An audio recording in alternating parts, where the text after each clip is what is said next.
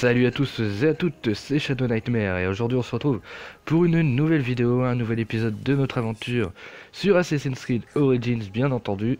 Et cette fois-ci, comme je vous l'ai dit dans l'épisode de la semaine dernière, on va continuer enfin notre aventure donc du DLC The Hidden Ones ou en français ce qu'on ne voit pas. Et donc si vous vous rappelez bien, ici on avait déjà commencé il y a 2-3 euh, épisodes, même je dirais 3, ouais je crois il y a environ 3 épisodes, en fait quand on avait tout simplement lancé le DLC, et eh ben on s'était attaqué à ce lieu et on était tout simplement mort euh, un nombre incalculable de fois, mais cette fois-ci j'ai envie de tester, j'ai envie d'y aller, je me dis que peut-être ça peut le faire. Et ça va le faire, je vous rassure. Comme je vous ai dit la semaine dernière, on va enchaîner le DLC. Cette fois-ci, on va enchaîner le DLC. Alors par contre, les dialogues, je tiens à le préciser, je vais pas les passer parce que le souci du DLC, entre guillemets, euh, c'est qu'il n'y a pas vraiment de différence entre les quêtes principales et les quêtes annexes. Du coup, pour euh, plus d'immersion et pour pas, euh, voilà, certains trucs, je préfère laisser les dialogues ainsi que les cinématiques, bien sûr que ça soit des quêtes annexes ou des quêtes principales. De toute façon, voilà, on, on, va faire les quêtes comme elles viennent et il n'y en a pas 36 000 de toute façon dans le DLC. Et vous allez voir qu'elles vont nous rapporter extrêmement euh, bien au niveau de l'expérience. Donc vous voyez quand même que ça s'enchaîne plutôt vite les ennemis. Euh, l'autre fois on était obligé de les prendre un par un, là ça se fait plutôt bien. Toujours avec ma, avec ma technique de la bombe fumée qui est vraiment pratique contre les ennemis puissants. Donc euh, le boss, enfin le boss, le, chef que j'ai tué dès le début, heureusement, euh, lui il était en tête de mort la dernière fois. Donc ça voulait dire que c'était quasiment impossible de le battre. Et là vous voyez que je l'ai battu, bah, la première cible que j'ai battue c'était lui quoi. Donc c'était plutôt simple. Je vais faire également autre chose, c'est que l'avantage c'est qu'il y a plein d'endroits pour choper des munitions ici. Donc je retournerai de temps en temps là-haut pour reprendre des bombes fumigènes, histoire de bien faciliter euh, l'élimination des ennemis. Il y a le problème c'est que le bras zéro aussi il est pas très loin, donc euh, qui, peut alerter les renforts. Mais au final vous allez voir que bah, les renforts on va pas tellement les voir, en tout cas je trouve pas. Donc ça va se faire plutôt bien ça va être tant mieux. Et également je préfère libérer les prisonniers parce que les prisonniers vont nous aider. Et même si euh, ils vont pas forcément tuer des ennemis, même s'ils vont abaisser la vie de pas mal d'ennemis, ça va faire un avantage, c'est que bah, les, gardes vont être euh, comment dire euh, divertis par eux. Ils vont pas forcément penser à aller sur moi. Donc comme vous voyez la moitié est sur les, sur les prisonniers. Pour ça que je prends tranquillement mon temps pour éliminer les trois gardes qui sont près de moi les deux trois gardes, celui-là également. Vous voyez qu'il est pas du tout, euh, ils sont, ils s'en foutent totalement les autres de, moi. Ce que je vais refaire, c'est que je vais retourner justement parce que j'avais repéré qu'il y avait un truc pour prendre euh, des munitions.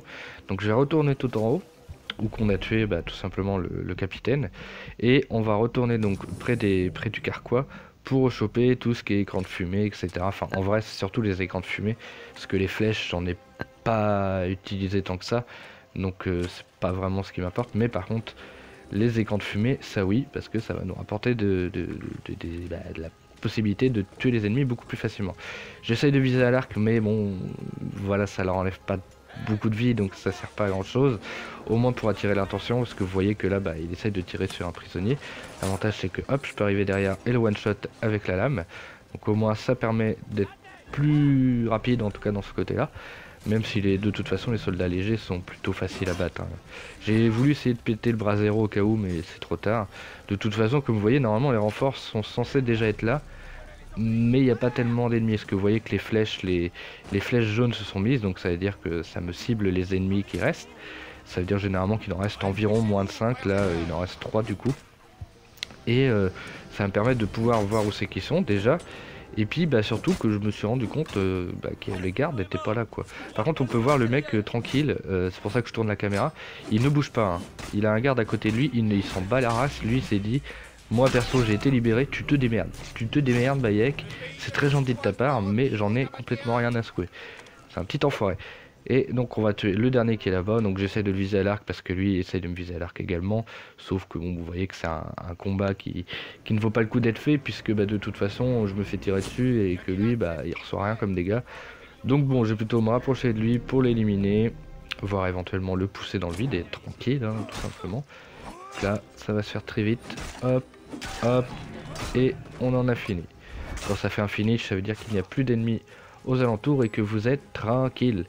On récupère bien sûr les bombes fumées, les trucs qu'il y avait sur lui et on va retourner voir donc euh, ah, le capitaine des rebelles. Tout simplement ici. Veille à ce que cette carrière reste en de bonnes mains. Ce sera difficile. Rufio va envoyer d'autres troupes. Et dans la carrière, il reste des esclaves à libérer. Votre ténacité est votre plus grande force. Tu travailles pour Gamilat? Il nous a parlé de ceux qu'on ne voit pas, ces grands héros de l'ombre. Personne ne connaît ceux qu'on ne voit pas. En tout cas, merci de nous avoir défendus. Si je vois ton sceau à l'avenir, je le traiterai avec respect. Bah, t'es vrai que tu le traites avec respect, mon, mon saut.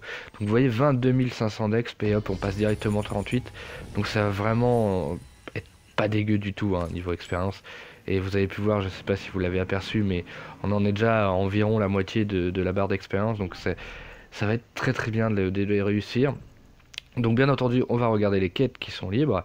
Donc il y en a une autre, niveau 40, donc on va choisir celle-là, parce que ça être tout simplement voilà, de notre niveau, elle est en blanche, donc ça devrait être faisable entre guillemets.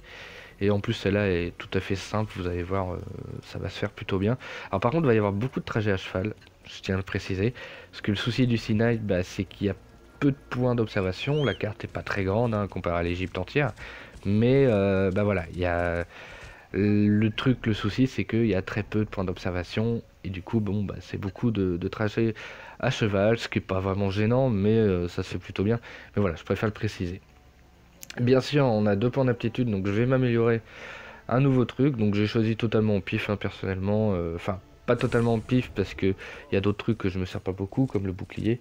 Mais par contre, en revanche, le comment dire, le, bah, le, permettre de faire un combo plus long, ça, en tout cas, oui, ça peut être beaucoup plus sympa.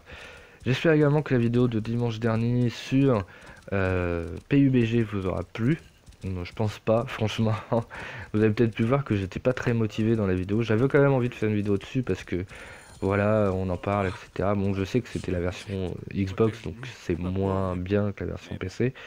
Mais je sais pas, contrairement à tout le bordel que j'ai entendu autour euh, avant sa sortie, bah je trouve que c'est pas, ça vaut pas quoi. Pour moi, c'est un Fortnite payant et moins bien. Voilà. Donc euh, grosso modo, c'est ça. Même déjà que je suis pas fan de Fortnite, donc euh, voilà. Mais je m'attendais à un Fortnite plus mature entre guillemets avec des graphismes plus réels, etc. Un truc moins moins cartoonesque. Mais au final, bah non, c'est pas. Enfin, il est moins cartoonesque, mais du coup, il est chiant à mourir. Voilà. Donc là, ce qu'on va devoir faire, c'est en fait tout simplement amener le corps de, de sa femme à l'endroit où on doit les enterrer. Le problème, c'est que lui, bon bah, il a un petit peu les chocottes. Il se dit ouais, je suis pas hyper motivé pour les lamener. Donc déjà, ça fait plaisir au niveau de au niveau euh, amour avec sa femme, ça devait pas être ouf ouf, hein, parce que avoir la flemme d'aller euh, emmener sa femme là-bas. Mais enfin bref, nous on va le faire à sa place. Donc j'ai tout simplement pris son cheval, hein. je me suis pas embêté à, prendre le corps de sa femme, le mettre sur mon cheval, etc. Sert complètement à rien. Autant prendre juste le, cheval qui était mis avec le corps de la femme et puis y aller tout simplement. Et il y a aussi une beauté dans ce jeu, euh, même dans les autres Assassin's Creed, c'est que les corps qui sont sur, euh, l'arrière des chevaux ne tombent jamais. Hein. Vous pouvez galoper, ils vont jamais tomber. Bon, encore sinon ça serait un peu chiant, mais ça, me fait marrer. Des fois, tu vois qu'il bouge à fond, mais non, il, va pas bouger. Parce que vous pouvez transporter également les, cadavres euh, que, vous tuez, vous pouvez les mettre également sur votre cheval.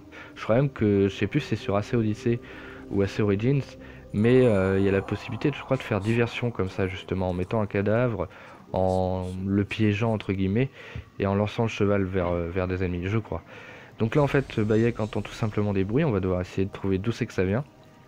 C'est un peu chiant parce que vous voyez qu'il y a beaucoup de brume et bon je me doutais très bien que c'était euh, dans une zone basse euh, du niveau mais c'est assez chiant parce que voilà il y a beaucoup de... Bah on voit pas très bien. Et du coup j'ai réussi à trouver heureusement. Alors c'est un peu chiant, quand on sait pas c'est un peu chiant.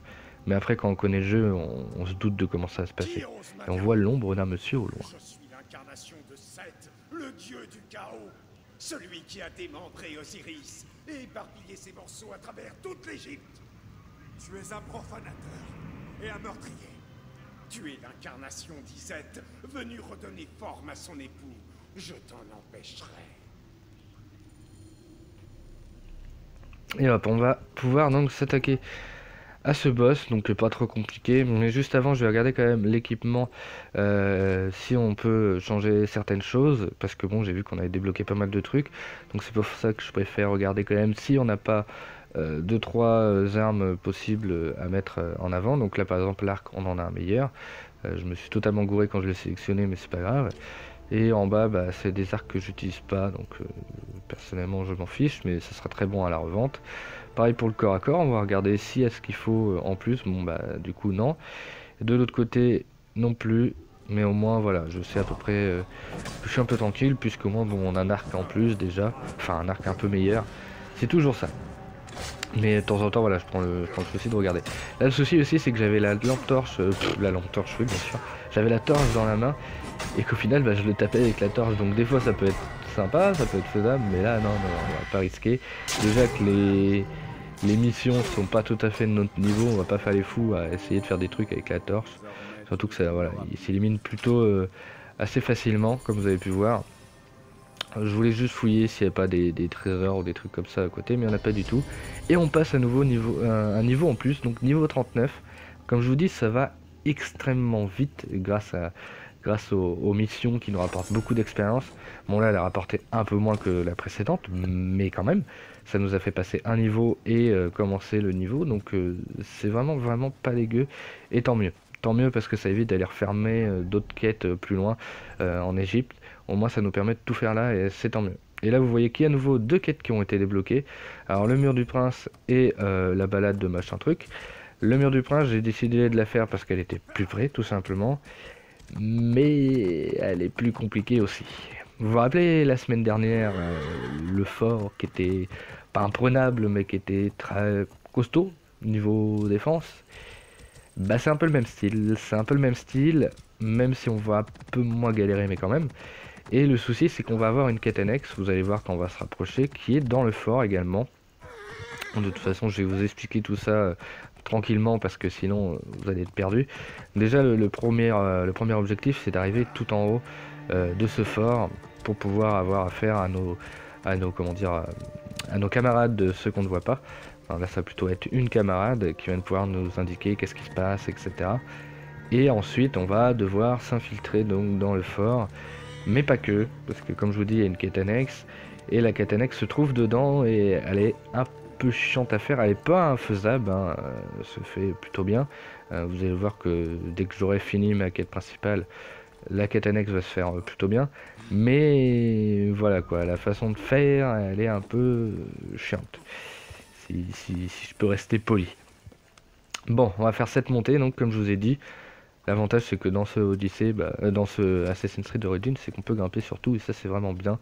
Ça casse un peu euh, la logique des fois, mais c'est bien dans le sens où que bon bah on n'a pas à chercher à trouver une route, etc. Donc on va monter tout en haut de cette tour, donc on n'est pas encore dans le fort tout à fait, on est vraiment juste avant, et ça va nous permettre de voir, euh, de voir avec elle euh, qu'est-ce qu'on va devoir faire. Donc là, on va pouvoir lui parler. Ta venue. Quelle est ma cible Ampelius. Il supervise tout le commerce dans la péninsule. Tu le trouveras en bas.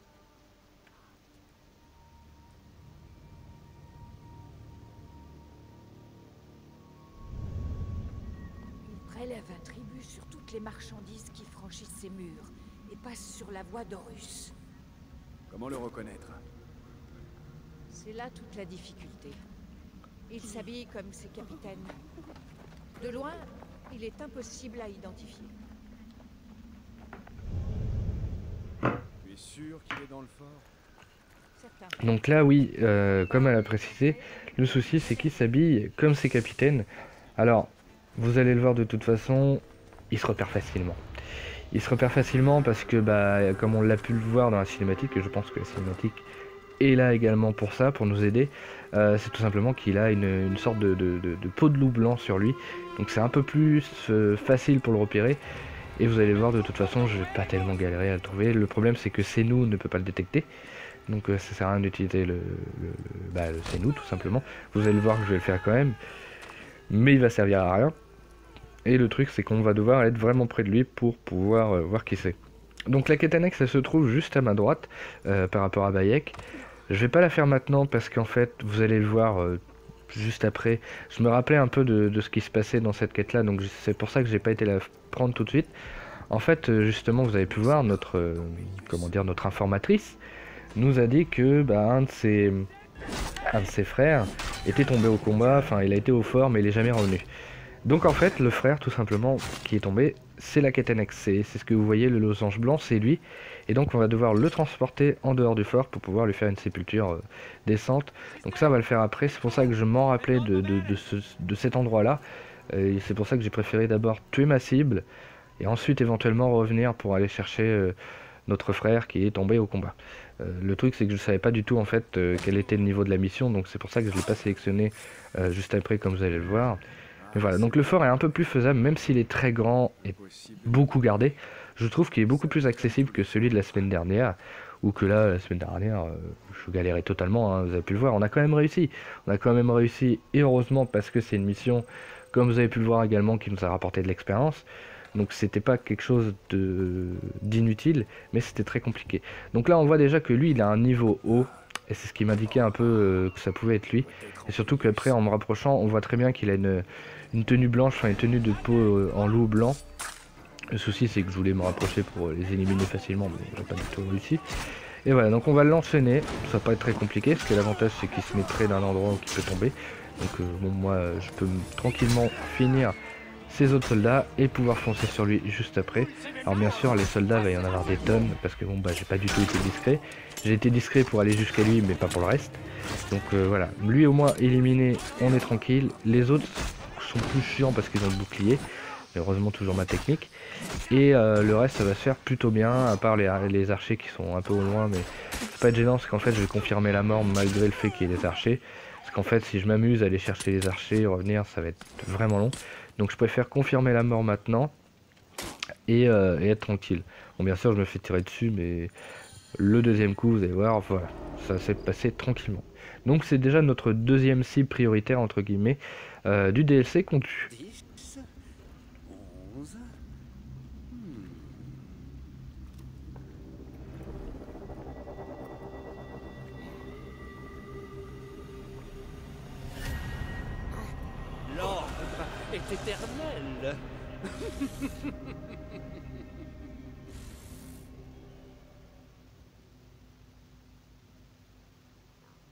Et voilà, c'est tout. Et ça, je trouve ça vraiment dommage. Les cinématiques durent deux secondes. Dans le jeu principal, les cinématiques étaient plus longues, il y avait, il y avait quelque chose. Et là, non. On tue, il y a juste un truc chelou, là, il a plus de main. Il fait Ah, l'ordre est éternel. Et c'est tout. Il n'y a même pas un truc euh, où qu'il passe la plume ou quoi. Non, c'est juste comme ça. Et c'était pareil avec notre première cible, hein, si vous en rappelez. Donc là, voilà, notre frère est là. On ira le faire juste après. D'abord, je préfère quitter l'endroit pour confirmer la quête, comme ça au moins je suis tranquille. Et ensuite, euh, éventuellement revenir. En fait, c'est surtout que je savais pas le niveau euh, que, j'avais besoin pour faire la quête, donc c'est pour ça que je l'ai pas prise tout de suite. Mais on va la faire aussitôt, je vous rassure, tout simplement parce qu'elle est à côté. Contrairement à l'autre qui est tout en haut du, du Sinaï, et là ça va être vraiment chiant. Euh, ça va être chiant, ça va être chiant, mais on va devoir quand même y aller. Donc l'avantage, les chevaux sont dans les forts, vu qu'il est assez grand. Euh, comme la semaine dernière, hein, le fort qui était très grand et on s'est barré à cheval, et bah c'est exactement pareil. Donc je préfère prendre de la distance, histoire qu'il n'y ait plus de, gardes qui me suivent, et on va donc enchaîner sur une nouvelle quête. Donc honore ton frère, qui est donc la quête qui se passe dans le fort. On va y retourner justement. Euh, l'avantage c'est qu'au moins j'ai vidé le fort. Donc c'est pour ça que je décide également d'y retourner maintenant. Parce que si j'attendais, euh, c'était foutu quoi. Enfin, on, ça aurait servi à rien. Donc autant euh, retourner maintenant, pendant que c'est encore chaud, pendant qu'il n'y a pas tout à fait les gardes. Alors il y en a qui ont qui arrivent via les renforts. Pas tellement gênant, hein, je vous avoue, parce que c'est plutôt, plutôt très faisable. Donc je retourne à nouveau par là. J'essaie de prendre un chemin quand même pas trop repérable. Lui, je l'avais pas vu, donc tant pis. Mais je vais prendre un chemin qui, est pas trop repérable, tout simplement pour éviter en fait que dès que je prends le cadavre euh, de notre frère, on peut se barrer et on, est tranquille quoi. Donc c'est pour ça que j'essaye de, reprendre à peu près le même chemin que tout à l'heure d'ailleurs, malgré qu'il y ait d'autres gardes qui sont venus. Alors ça c'est pas parce qu'ils ont respawn, c'est tout simplement parce qu'ils font leur tour de garde et vu que j'ai foutu le bordel tout à l'heure, bon bah voilà, ils sont plus du tout à leur, à pattern d'origine, ce qui est normal. Et on va donc prendre le cadavre, essayer de trouver un cheval au plus vite. C'est ça le souci, parce que là en fait faut juste euh, s'esquiver. Je vais regarder également aussi entre deux, puisque on va avoir pas mal de gardes qui vont arriver sur la tronche, de voir si on a une nouvelle arme. Et vous allez pouvoir voir que oui, on a une nouvelle arme, c'est pour ça que j'ai décidé de la prendre. Euh, sûrement qu'on l'a eu sur le cadavre tout à l'heure. Et au moins on est tranquille. Je rechange la seconde arme au cas où, histoire d'avoir une autre arme au cas où, mais bon, je m'en sers quasiment jamais. On regarde les autres aussi, je peux changer à nouveau l'arc, donc on le met vu qu'il est meilleur. Et en B, j'ai toujours rien. C'est pas grave, il n'y a, que des, arcs en A que j'arrive à trouver, mais des arcs en B, non. Enfin, A, B, c'est la main en fait. Euh, a, ça va être euh, ma, première arme à gauche, et euh, B, ça va être ma deuxième arme à gauche, tout simplement. De toute façon, j'utilise beaucoup plus la première que la deuxième. Heureusement, comme, je, comme vous avez vu, il y avait un cheval. J'avais un peu peur parce que je vous avoue que bah, le souci de, comment dire d'avoir d'être rentré comme ça à nouveau bah j'avais peur que le cheval que j'ai pris tout à l'heure pour me barrer ne soit plus là. Et heureusement il l'était. Donc ça me rassure. On a à nouveau donc l'objectif, puisqu'on a réussi à s'éloigner du fort, l'objectif euh, qui se met, et donc ça va être tout simplement trouver un lieu de sépulture convenable pour notre, euh, frère qui est tombé au, au, combat, comme je vous ai dit. D'ailleurs c'est bizarre que j'ai pas pris l'autre route là, je me rends compte que l'autre route aurait été peut-être plus rapide et moins risquée, mais c'est pas grave c'est pas grave, ça se fait quand même. Donc vous voyez que les quêtes, comme je vous avais dit la semaine dernière, les quêtes s'enchaînent plutôt vite, je trouve. Euh, tant mieux, parce que ça nous a pas mal d'exp. Alors aussi peut-être parce que voilà, elles sont plus faisables, elles sont plus faciles, contrairement au début. Il y a également le niveau qui suit maintenant, euh, puisque voilà, on est arrivé déjà à niveau 39. Ça va plutôt vite, comme je vous dis, vu le, nombre d'exp que ça rapporte. Donc euh, tant mieux, ça s'enchaîne bien et, c'est très faisable et j'aime beaucoup ces quêtes là. Il y a une suite en fait, le fait d'aller tuer notre cible dans le fort et aussi sauver notre frère qui lui a également essayé d'aller dans le fort. Donc euh, il y a une suite logique et, c'est plutôt bien fichu. Et heureusement, voilà, ça, moi je trouve ça pas mal. Parce que justement, à nous parler, oui, euh, on a emmené un de nos frères au combat, il est pas revenu. Et là, justement, le fait qu'il revienne, enfin qu'on puisse le ramener, ça amorte une suite logique à la mission.